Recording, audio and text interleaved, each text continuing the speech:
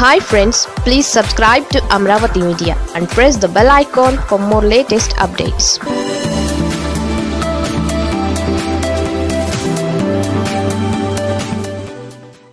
AP రాజకీయాల్లో పెను సంచలనం. త్వరలో పెద్ద తలకాయలు అరెస్ట్ అయ్యే అవకాశం. ఆంధ్రప్రదేశ్లో మరో సంచలనానికి తెరలేవనుందా? రాజకీయంగా పెద్ద తలకాయలు అరెస్ట్ అయ్యే అవకాశం ఉందా? టీడీపీ హయాంలో జరిగిన స్కిల్ డెవలప్మెంట్ స్కామ్ తాజా పరిణామాలను గమనిస్తే అది నిజమేనని అనిపిస్తోంది. Andhra Pradesh skill development scam case కీలక మలుపు తిరుగుతోంది. త్వరలోనే పెద్ద స్థాయి అరెస్టులు తప్పవు అంటూ ప్రచారం జరుగుతోంది.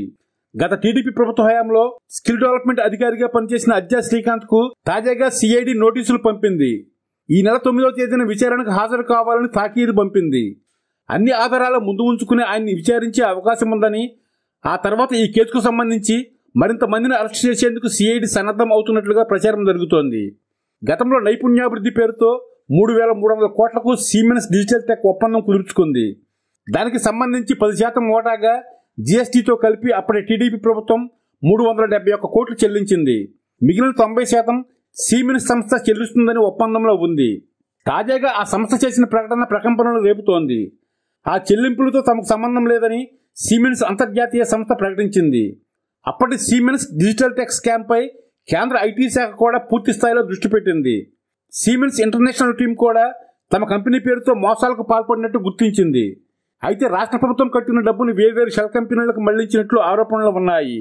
నిజానికి రాష్ట్ర ప్రభుత్వం పది శాతం నిధులు కేటాయిస్తే సీమెన్స్ కంపెనీ తొంభై శాతం నిధులు వెచ్చించి రాష్ట్రంలో యువతకు నైపుణ్యాభివృద్ధిలో శిక్షణ ఇస్తారని ఒప్పందం చేసుకున్నారు.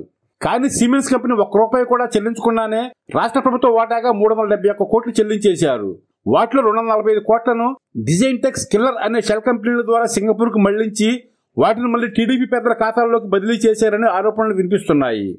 అప్పట్లో టీడీపీ ప్రభుత్వంలో ఐటీ శాఖ మంత్రిగా ఉన్న నారా లోకేషే ఏపీఎస్ఎస్డిసి వ్యవహారాలు చూడడం గమనార్హం.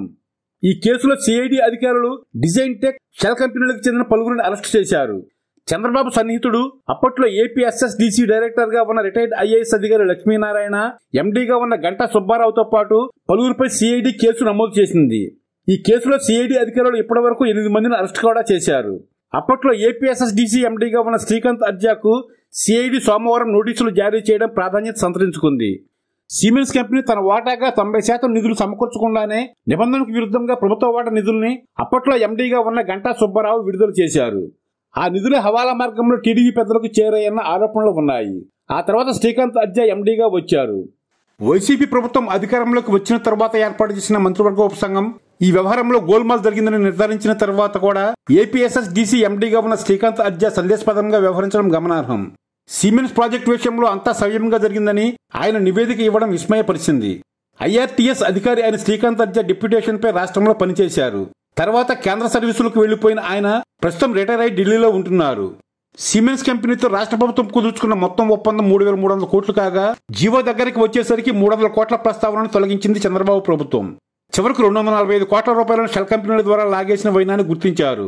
రెండు వేల పదహారు పద్దెనిమిది మధ్య మొత్తం ఈ స్కామ్ జరిగిందని ఈ కుంభకోణంలో గతంలోనే ఏసీబీకి ఫిర్యాదు చేశారు విజయల్ బ్లోయర్. వెంటనే అసలు ఫైళ్ళను చంద్రబాబు ప్రభుత్వం మాయం చేసినట్లు విమర్శలు ఉన్నాయి. అధికారులను మేనేజ్ చేసే సమయంలో కేంద్ర ప్రభుత్వ జీఎస్టీ అధికారుల దర్యాప్తులో విషయం బయటపడిందని అంటున్నారు. మొత్తం మీద ఈ స్కామ్లో సిఐడి దూకుడుగా వ్యవహరిస్తోంది. దీంతో పెద్ద తలకాయల అరెస్టు జరిగే అవకాశం ఉందని అంటున్నారు.